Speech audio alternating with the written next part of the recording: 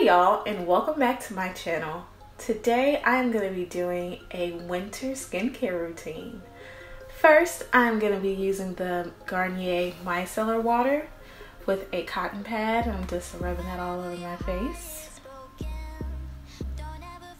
Trying to get all the nooks and crannies.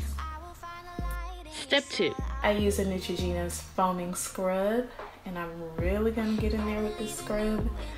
I love exfoliant scrubs. They just get in there, get all the dirt and oil out of your skin.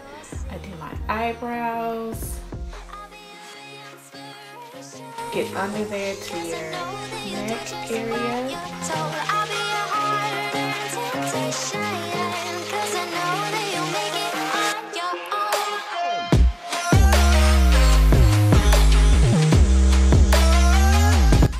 Using a paper towel and water to wipe off the excess product. Using paper towels doesn't spread bacteria.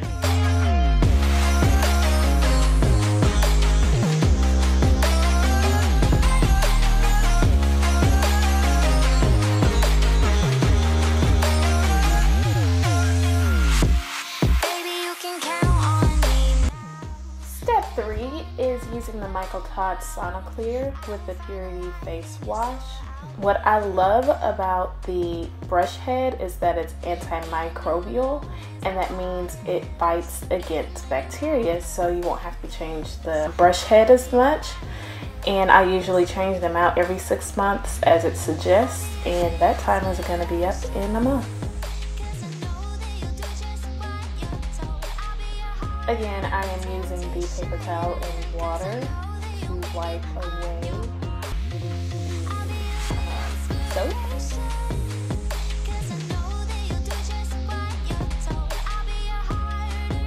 Step 4. I use the Michael Todd's Organic Lemon Toner with a cotton pad. Use it all over my face. Also the neck area. Fanning myself to that dry faster. Step 5. I use Clinique's Pep Start Eye Cream. I use the bottle to put it on my eyelids. And after that, I go in with my ring finger and pat it into my eyes. Step 6 is the Origins GinZing Gel Based Moisturizer. It's really awakening to the skin.